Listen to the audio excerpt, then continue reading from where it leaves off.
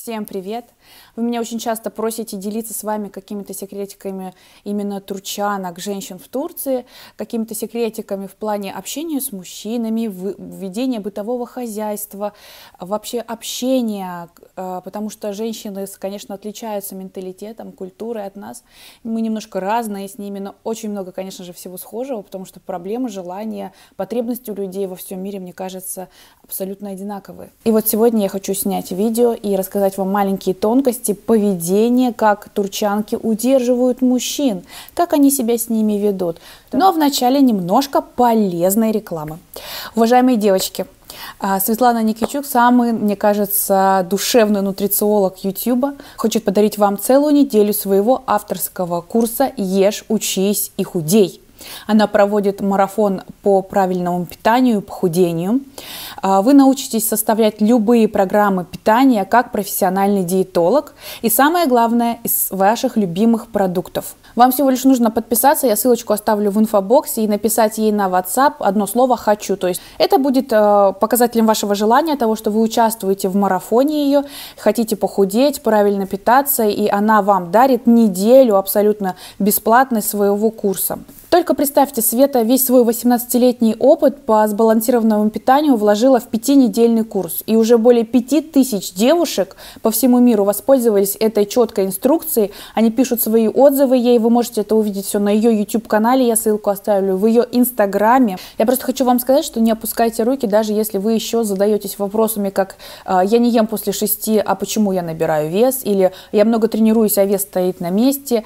или «я перебрала много диет, но все потом возвращаются все мои потерянные килограммы, или я не могу перейти на частое сбалансированное питание правильное, потому что у меня периодически срывы бывают в питании. Уже на первой бесплатной неделе Светлана вам ответит на эти вопросы, и чтобы уделить внимание всем желающим, количество мест, конечно же, будет ограничено. И эта акция по вот этой предварительной записи, э, когда вы напишете свое слово «хочу» в WhatsApp, она действует в течение недели. Поэтому, пожалуйста, я оставлю ссылку, успейте.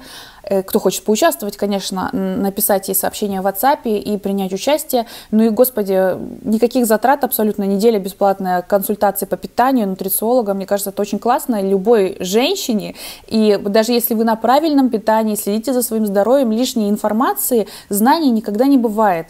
Просто почерпнете что-то для себя новое, интересное, и, может быть, это вам заложит какие-то интересные мысли в голову и настроит вас э, в правильном направлении в плане здорового образа жизни и питания. Еще, кстати, хочу отметить, что вот у себя на YouTube-канале Света делает разбор, отвечает на вопросы в видео своих, и там задета тема, почему я не худею, собственно, в чем вообще проблема этого, там разбирают вот эти аспекты. Это очень полезная информация, просто посмотрите хотя бы ее блог для себя, и я думаю, что какие-то знания вы для себя подчеркнете. Так что ссылочку на Светин канал и на Инстаграм я оставляю под видео, хочу, чтобы вы поучаствовали в этом марафоне. Это абсолютно первая неделя абсолютно бесплатно и куча полезной информации, то есть минимум каких-то затрат энергетических, но при этом огромный выхлоп будет. Я надеюсь, что это просто послужит вам стимулом для того, чтобы вы изменили свою жизнь, начиная просто хотя бы с питания. Что в разных странах у женщин подобное поведение есть, но здесь это больше э, вопрос э, воспитания и культуры, которые они видят от мам, от бабушек. Я опять же скажу, что это в основном, я не говорю, что все вот так поступают. Есть исключения из правил, которые правила, как правило, к правилу, как правило, интересно звучит, подтверждаю. Умные, восточные, мудрые, скажем так, недоступные, вот этот аура недоступности, налет такой недоступности восточных женщин. Очень часто мне в комментариях такое девочки пишут, «Э, вы очень быстро переходите в общение, многое мужчинам позволяете, вот турчанка бы так не сделала. Это правда. Есть турчанки, которые годами там мусолят своих женихов, очень часто здесь годами встречаются. Э, не, э, ну, бывает там быстро познакомились, помолвка, не помолвка, поженились в течение года, но 2, 3, 4 года отношений, это здесь нормально, никто не скажет, о, отношения себя жили, куда вы тянете, почему? Потому что все очень медленно в отношениях развивается. Они могут ходить гулять за ручку долго, потом они все-таки, она позволит поцеловать себя в щечку и так далее. Но это относительно воспитания в семье правильного, да, может быть, какой-то аспект религиозности у девушки может быть.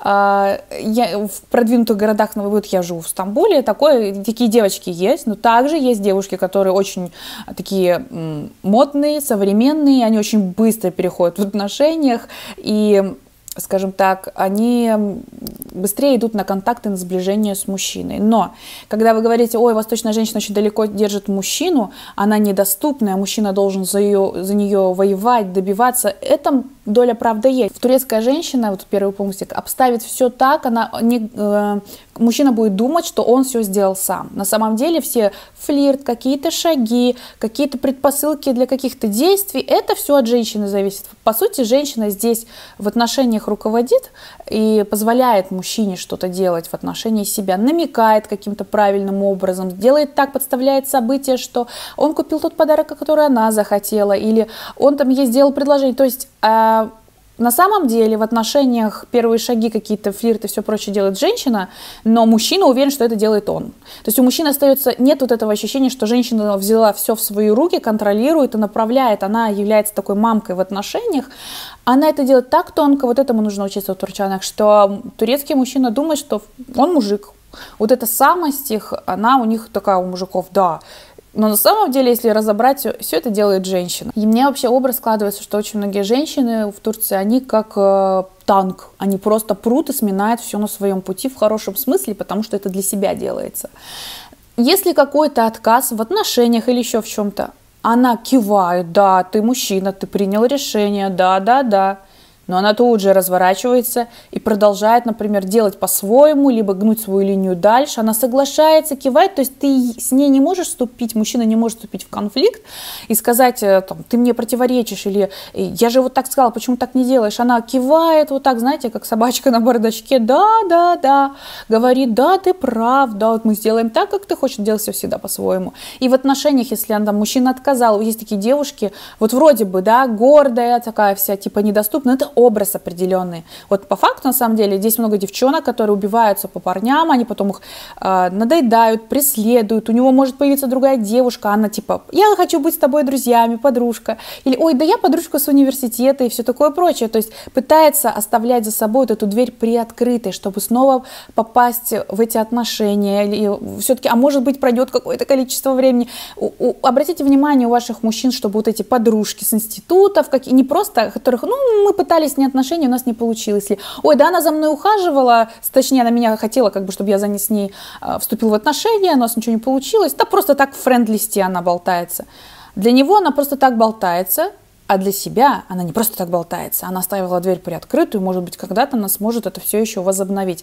Имейте, девочки, себе это на чеку. То есть, если турчанка затихла и просто такая э, подружка, которая когда-то что-то не получилось, либо могли быть отношения, но как-то не... Короче, когда была какая-то симпатия, как мужчины и женщины, это нежелательная подруга э, в, в листе вашего мужчины, потому что настанет день, когда она подставит свое дружественное или плечо ему поплакать, когда у вас будут какие-то проблемы, проблемы, которая будет действительно спрашивать, да-да-да, помогать ему, э, поддерживать, быть таким товарищем боевым. На самом деле у нее другие цели. Она хочет быть вот такой правильной, гладкой, как вот в предыдущем пункте я сказала, но когда-то на ситуацию она будет ждать годами, но она найдет такую ситуацию удобную для себя, чтобы поставить свое плечо и перевернуть ситуацию, чтобы быть в выигрышной позиции, показать себя с лучшей стороны и снова расположить к себе мужчину. Еще не гнушаются с манипуляциями здоровьем, если с мужчиной какие-то проблемы, как удержать, да, а, своими либо с близким. У нас можно сказать, ой, ну постыдно врать там про здоровье, что-то это грешно, вдруг ты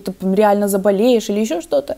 Здесь очень часто такое, наврать, э, ой, я болею, там или расстаемся, я смертельно больна, ну это в кавычках, ну в принципе, да, или ой, я не могу, там какие-то проблемы вообще, когда начинаются. В общем, не зазорно, может быть, солгать, сказать, что там не можешь куда-то прийти, или какие-то проблемы в отношениях, что-то ты там не можешь. Причина я болею, или болеет мой какой-то ближний родственник, у меня больная мама, или еще что-то.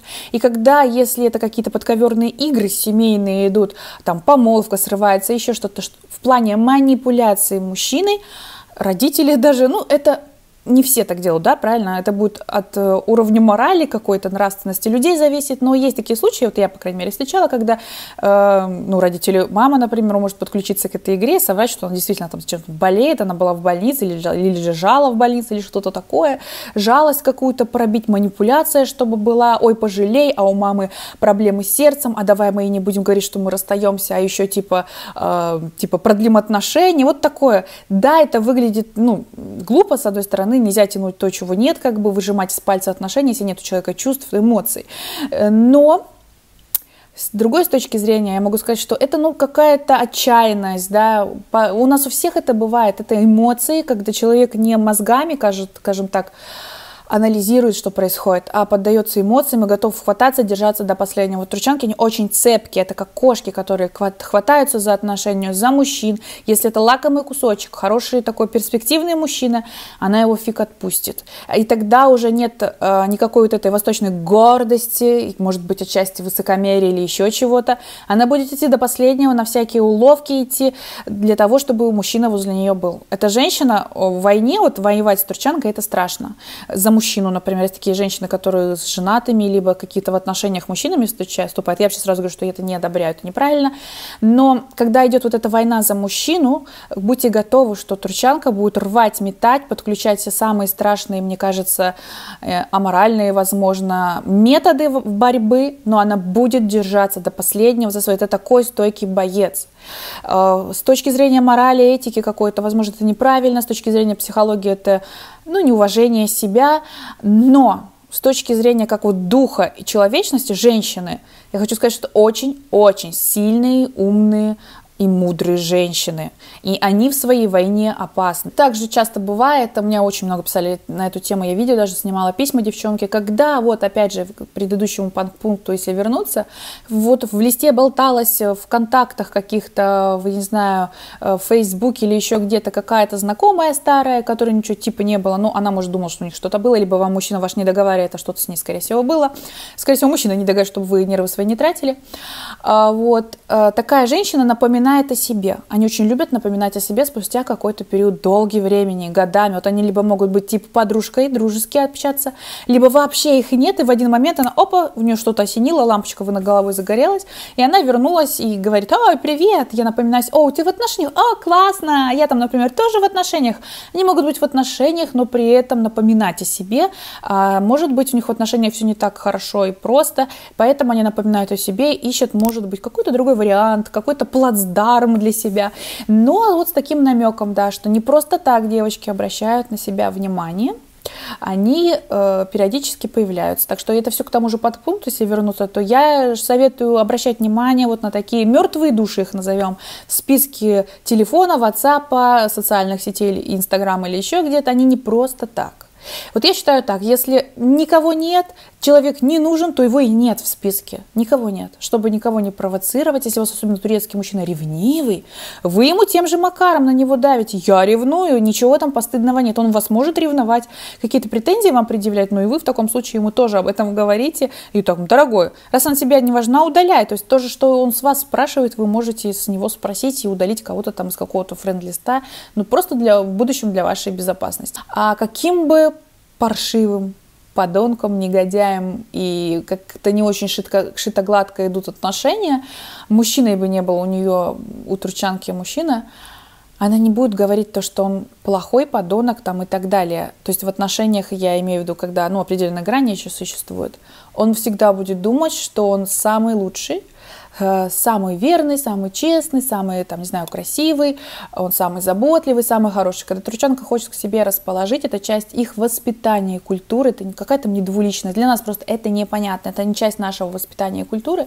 У них, в принципе, да, вот этот small talk, и приятно говорить какие-то хорошие вещи посторонним людям, которых ты даже не знаешь, комплименты делать, а уж своего мужчину, чтобы его расположить, чтобы получить какой-то подарок, чтобы, эм, э, в общем, быть на хорошей волне с ним, чтобы он к тебе хорошо относился, согласился, они очень хорошо, красиво льют воду в уши, мед просто, их слова это мед, и они прям задабривают, очень красиво говорят, то есть мужчина никогда, если турчанке что-то от него надо, если она хочет, чтобы он был с ней хорошо расположен, а, как бы часть такого флирта и отношений, она будет говорить, что он будет уверен, вот так скажем, благодаря ее словам, он будет уверен, что он самый лучший на всем белом свете, он самый мужик-мужик, лучше него никого не бывает.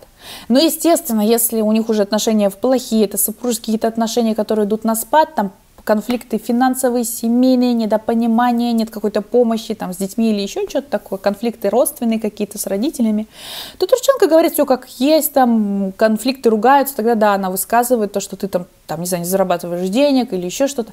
Но даже есть такие женщины, которых, которые до конца, даже если у них большие проблемы в отношениях, когда уже надо бы сказать мужчине, что «Эй, чувак, ты что-то делаешь не так, мне что-то не нравится», они могут все равно очень намекать на это, но впрямую не говорить, дабы у мужчины вот ощущение вот этого султанства было, чтобы он чувствовал себя лучше, что он идеальный, что он единственный. Вот эти ощущения мужчине нужны.